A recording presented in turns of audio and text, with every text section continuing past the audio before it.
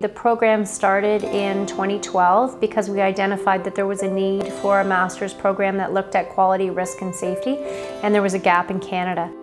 Our program is taught by an interprofessional team of people committed to healthcare quality advancement. So we have uh, policy, business, education, engineering, law, medicine, nursing, and our students are coming from the same backgrounds as well as many others that we didn't anticipate when we built the program. Healthcare quality is really the new competency in healthcare. It's about being patient-centered, it's about being safe, about being timely. It's care that's effective, that's efficient, and that's equitable. Designing the course around working professionals in healthcare was essential. That's why we went to the online format. Makes the course accessible so that we're available to do this together in the evening and work together. And we've paced the course so that it's uh, manageable while you've got a day job.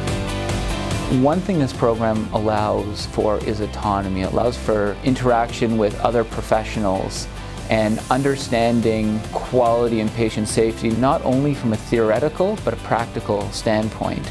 It, it allows for professionals within the program to leverage each other's experience and the professor's experience uh, to come up with a, a more global understanding of patient quality and care.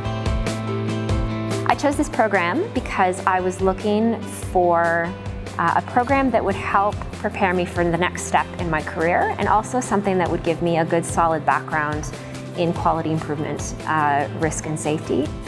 So a position at Health Quality Ontario came up and Health Quality Ontario is the province's um, advisor on quality issues. It was really a great opportunity to bring together both my practical experience in my previous job but also a lot of the academic framework that I had learned within the program the uh, program actually opened doors to meet lots of other people that were taking the program or have already taken the program. So it's definitely like a big community and it keeps growing every year, which is great. I was looking for options in my career. The interesting thing is that I actually have already started that transition into that role.